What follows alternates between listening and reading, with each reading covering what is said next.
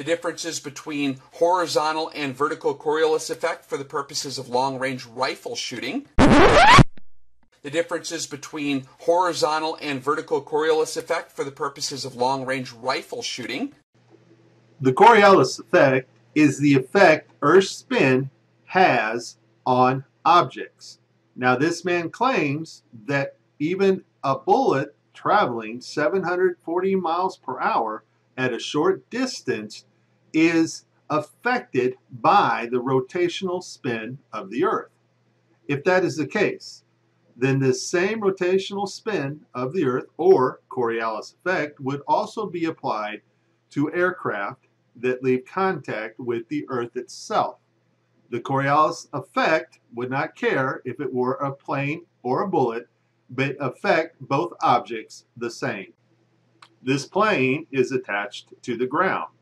If the Earth were spinning beneath the plane, the plane would spin at the same rate of the Earth, or the plane would be affected by the Coriolis effect, meaning that the plane has to be traveling at the same rate the Earth is.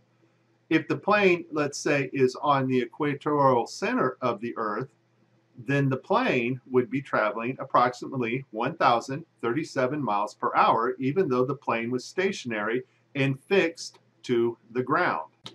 As the Earth spins, the plane would simply move along at the same rate of Earth spinning, or called the Coriolis effect. The plane is affected by the rotational speed of the Earth at the equator center. Therefore, the plane speed is 1,037 miles per hour. If the plane were to leave the solid firm ground below, then the plane would no longer be fixed to its reference frame on Earth. Or, in other words, the plane would not be able to spin at the same rate of the Earth or be affected by the Coriolis effect. This is why they claim that bullets and ballistics need to account for the spin rate of the Earth simply because Earth spinning below a bullet moves the target away from the bullet's straight line of fire. This is a 747. Its maximum cruise speed is 570 miles an hour.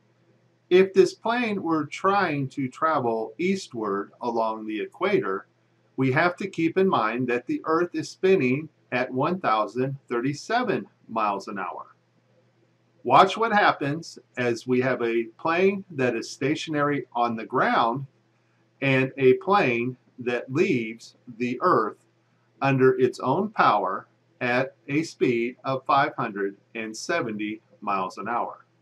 The plane that is moving faster is the plane that is on the ground. It is sitting on its runway fixed to the hard surface of the Earth and is affected by the Coriolis effect, meaning that the plane is moving at the same rate that the Earth is moving. The plane that appears to be slower is a plane that has left the ground and is flying under its own power at its max cruise speed of 570 miles an hour. If you notice, the plane that is fixed to the ground is able to outrun the plane flying under its own power along the equator at 570 miles an hour. A plane leaving the equator center, traveling east under its own power with a max speed of 570 miles an hour, would never be able to reach its destination simply because the ground beneath is moving at a rate of 1,037 miles per hour. We can see that the plane that is fixed to the ground and stationary on Earth is moving faster than the plane that has actually left the ground and is now flying. The plane that is flying will never reach its destination, continuing to travel east. There are still a few people left on Earth that believe the Earth is spinning. Their explanation is that the air above the Earth spins at the same rate the Earth is spinning.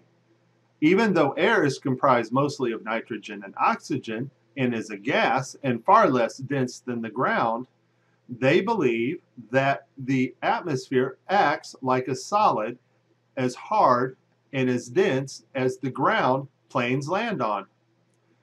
This is simply not true.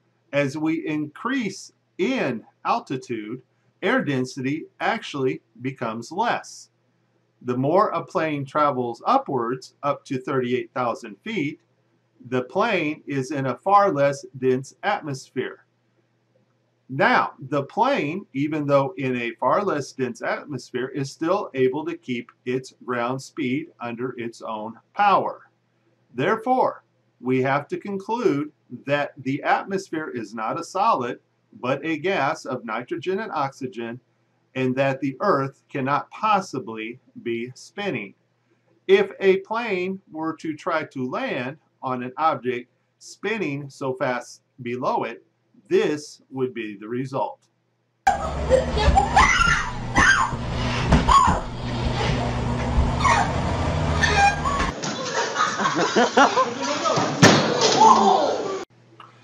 For those left who still believe that the earth is spinning, though there be few, if we were to take a flight from New York City to Los Angeles, that would be traveling west.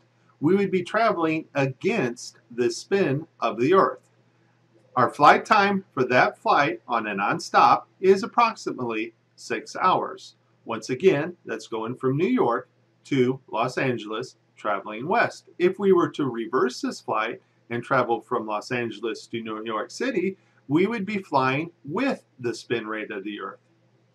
And the flight times should be drastically increase simply because the plane flying east with the spin rate of the Earth cannot keep up with the speed that the Earth is traveling and would be affected by the Coriolis effect.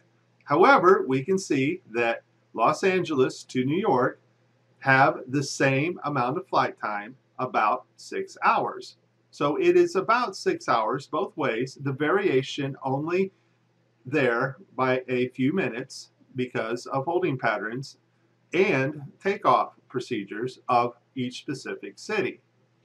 The Earth cannot possibly be spinning. This is Mike. Please like and subscribe.